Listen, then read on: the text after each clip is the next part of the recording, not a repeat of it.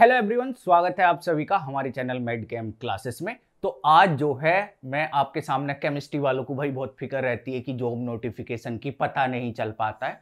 तो अभी आपके सामने जो लिखा हुआ है, उत्तराखंड लेक सेवा आयोग यूके पीसीएस तो उसने मतलब जो है क्या करा है, राजकीय पोलोटेक्निक एवं सहायक शोध अधिकारी के पद के लिए कुछ वैकेंसीज निकाल ली हैं, जिसमें केमिस्ट्री के लिए भी वैकेंसी है। या अगर मैं सिंपल शब्दों में कहूँ तो पोलोटेक्निक्स कॉलेज में लेक्चरार के लिए वैकेंसीज निकली हैं।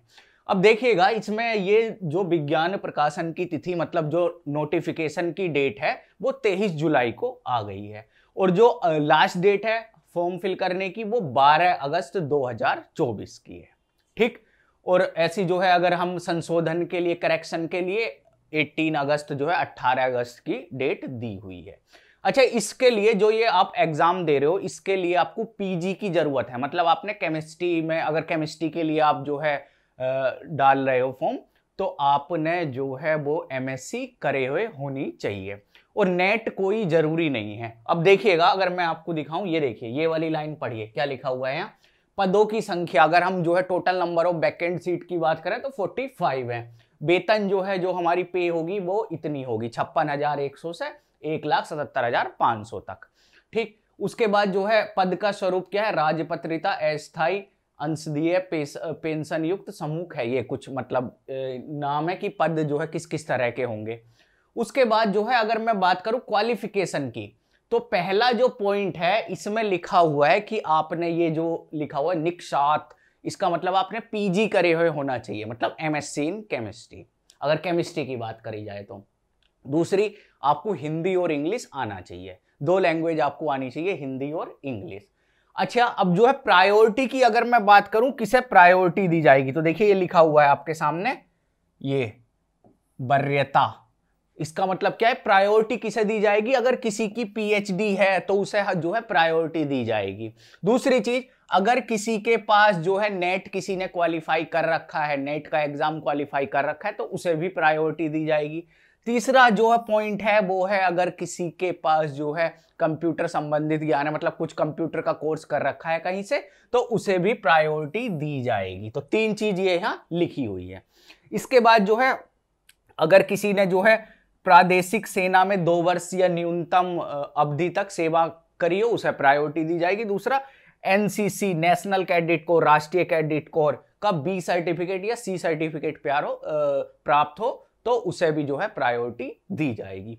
अगर हम जो है एज लिमिट की बात करते हैं तो न्यूनतम आयु 21 साल है, अधिकतम आयु जो है इसकी 42 42 ईयर ओल्ड है। और ये आपके सामने वैकेंसी लिखी हुई है कि जो है जनरल के लिए कितनी है और अगर मैं बात करता हूँ ये आपके सामने लिखी हुई है कि जनरल के लिए कितनी है ओबीसी के लिए कितनी है एससी के लिए कितनी है एसटी के लिए कितनी है और ईडब्ल्यूएस e के लिए कितनी है तो देखिए लिखी हुई है जनरल के लिए जो है आपकी 21 ओबीसी के लिए 11 उसके बाद एससी के लिए आपकी दो एसटी के लिए सात और ईडब्ल्यूएस e के लिए चार जो है वो वैकेंट सीट है टोटल 45 बाकी जो है अलग से कुछ मतलब वुमेन्स के लिए या मैं कहूँ कि महिलाओं के लिए अलग से सीट जो है इसमें हैं। ठीक है? कि छः जो है वो जनरल वालों के लिए ओबीसी के लिए तीन, और एससी के लिए कोई नहीं है एसटी के लिए दो, और ईडब्ल्यूएस के लिए एक। मतलब वुमेन्स के लिए अलग से रिजर्वेशन दिया गया है। ठीक? वही अगर हम इसमें बात करते हैं कि कैसे कैसे ये एग्ज़ाम होगा तो हम केमिस्ट्री की बात कर रहे हैं तो केमिस्ट्री में जो है तीन जो है आपका ऑब्जेक्टिव टाइप जो है, वस्तुनिष्ठ प्रश्न जो इसमें लिखे हुए हैं, तीन पेपर होंगे उसके। पहला जो है आपका होगा जनरल हिंदी या सामान्य हिंदी बोल सकते हैं। प्रश्नों की संख्या सो होगी और जो है अधिक मतलब टोटल जो है वो सो नंबर का होगा और इसका टाइम जो है टू आवर्स का होगा। दूसरा अगर हम बात करें तो ये जो है सामान्य इंग्लिश मतलब जनरल इंग्लिश का होगा और इसमें टोटल प्रश्नों की संख्या सो होगी और जो है अधिकतम ये भी सो नंबर का होगा और दो घंटे का ये भी एग्ज़ाम होगा आपका। वहीं अगर हम बात करें केमिस्ट्री का जो अपना पेपर होगा, वो डेढ़ सौ क्वेश्चन आएँगे उसमें टोटल तीन सौ नंबर का होगा और तीन घंटे का होगा। मतलब तीन सौ का तो ये होगा और दो सौ के ये दोनों मिला के होंगे तो टोटल कितना हो गया? पाँच सौ हो गया। उसके साथ साथ अगर देखिएगा, अगर मैं जो है बात करता हूँ कि और क्या होगा? तो भाई पचास नंबर का इसमें इंटरव्यू दिया गया है कि पचास नंबर का आपका साक्षात्कार होगा, ये पचास नंबर का। अगर आप जो है उन 500 में से छह नंबर ले आते हो तो फिर इस 50 नंबर का इतना महत्व नहीं रह जाता। और अगर आप सिंपल इंटरव्यू देने भी जाओगे जनरल क्वेश्चन पूछे जाते हैं, अगर आप जो है इंटरव्यू दोगे तो कुछ ना कुछ आप ज़रूर बता दोगे। चलिए भाई नेक्स्ट चलते हैं। अब अगर मैं बात करूँ जो हमारी हिंदी है मतलब जनरल हिंदी, उसका सिलेबस क्या होने वाला है? तो उसका सिलेबस कुछ इस तरह से है कि वर्ण विचार दिए गए हैं, जिसमें आपके स्वर, व्यंजन और वर्णों का वर्गीकरण, ये सब पूछा गया है।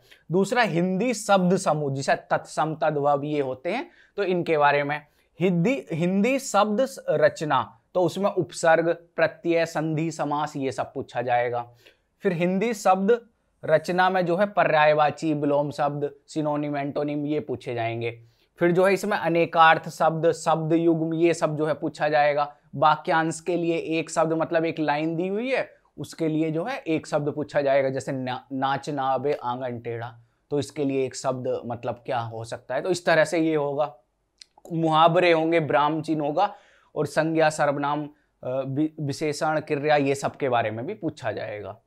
इसके बाद अगर हम इंग्लिश की बात करते हैं जो आपका सो नंबर का होगा उसमें देखिए क्या क्या पूछा जाएगा। तो इन्होंने ये लिख रखा है इसका सिलेबस भी कि हाँ synonym, antonyms, compound, complex, correct correct करना है सेंटेंस को, ये सब जो है इसमें भी पूछा जाएगा। ये किसका है? आपका इंग्लिश का है।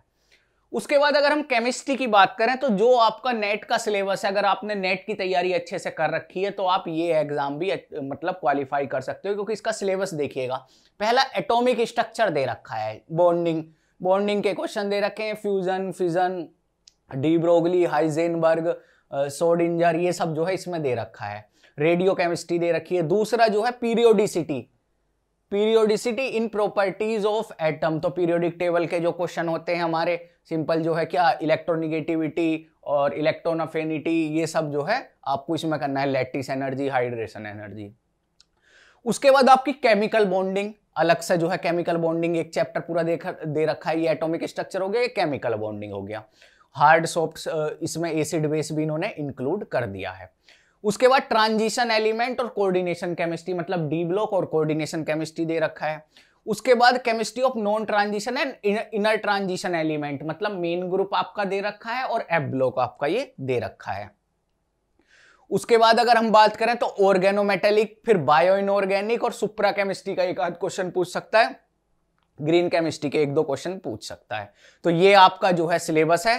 अब देखिएगा और आगे देखिए, आगे क्या देख रहा है? इन्वायरमेंटल केमिस्ट्री के बारे में पूछ सकता है, थोड़ा जो है डाटा एनालिसिस के बारे में पूछ सकता है। अगर ये प्रिपेयर नहीं करोगे, तब भी चलेगा, अगर आपने मेन मेन चीज़ें प्रिपेयर कर रखी है तो। उसके बाद अगर मैं ऑर्गेनिक की बात करता हूँ तो ऑर्गेनिक में स्पेक्ट्रोस्कोपी दे रखा है, जिसमें UV IR NMR microwave mass spectroscopy ये आपकी स्पेक्ट्रोस्कोपी दे रखी है। दूसरा nomenclature of organic compound nomenclature मतलब आईयूपीएससी दे रखा है। दूसरा आइसोमेरिज्म दे रखा है स्टीरियो केमिस्ट्री स्टीरियो केमिस्ट्री आपका दे रखा है। फिर ऑर्गेनिक रिएक्शन मैकेनिज्म की ऑर्गेनिक का जो रिएक्शन मैकेनिज्म है, वो आएगा आपका। दूसरा ये नेम रिएक्शन है कुछ। ये नेम रिएक्शन दे रखी है। नेम रिएक्शन के बाद थोड़ा सा जो है रिएजेंट भी आप पढ़ सकते हो। उसके बाद जो है एरोमेटिसिटी आ गई पेरिसाइक्लिक आ गई फोटोकेमिस्ट्री आ गई।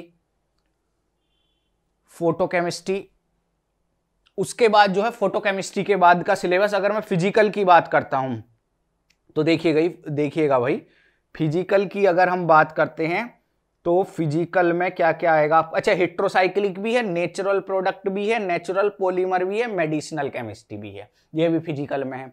अगर फ़िज़िकल केमिस्ट्री की बात करता हूँ तो quantum chemistry, solid state, electrochemistry thermodynamics statistical thermodynamics chemical kinetics, solution spectroscopy, जो आपकी फ़िज़िकल वाली होती है। फ़िज़िकल केमिस्ट्री ऑफ़ पोलीमर मतलब पोलीमर के बारे में पूछा जाएगा, surface chemistry and colloids, colloidal solution के बारे में पूछा जाएगा। तो ये आपका सिलेबस होने वाला है। टोटल जो है आपका कितना हमें पता चला? 550 नंबर का ये होने वाला है, जिसमें से जो है 300 नंबर की केमिस्ट्री है 50 नंबर का जो है वो आपका इंटरव्यू है 350 अब बचे कितने? 200 नंबर। 200 में क्या है कि 100 की तो हिंदी है, और 100 का क्या है? 100 का इंग्लिश है। अगर आप थोड़ा भी हिंदी की कोई छोटी बुक ऐसा परचेज करके थोड़ा बहुत भी पढ़ लोगे, तब भी इसमें आप मार्क्स ला सकते हो, ऐसे इंग्लिश में भी आप मार्क्स ला सकते हो। तो ये तो था कि हाँ हमें जो मेन फोकस करना है वो ये है। मतलब इसमें भी कौन सा? 300 300 नंबर पे मेन फोकस हमें करना है। अब देखिए, जो हमारा मेडकेम क्लासेस है, वो इसका कोर्स प्रोवाइड करता है। आपको केमिस्ट्री इसमें पूरी जो है आपको कराई जाएगी। तो अगर आप केमिस्ट्री का, इसका हम अलग से एक कोर्स बनाएँगे तो अगर आप जो है केमिस्ट्री लेते हो इसमें तो हम इनके लिए कोई बुकलेट आपको प्रोवाइड कर देंगे। किसके? हिंदी और इंग्लिश के लिए कोई बुकलेट आपको प्रोवाइड कर देंगे। उसमें जो है हम जो है उसे बता देंगे कि आपको क्या क्या इसमें से पढ़ना है। तो आप ज्वाइन कर सकते हो और अपना सिलेक्शन निश्चित कर सकते हो। तो भाई, ये वैकेंसी निकली हुई है, बहुत अच्छी अपॉर्चुनिटी है आप सभी के पास ज्वाइन करने की। ठीक है? तो thank you so much everyone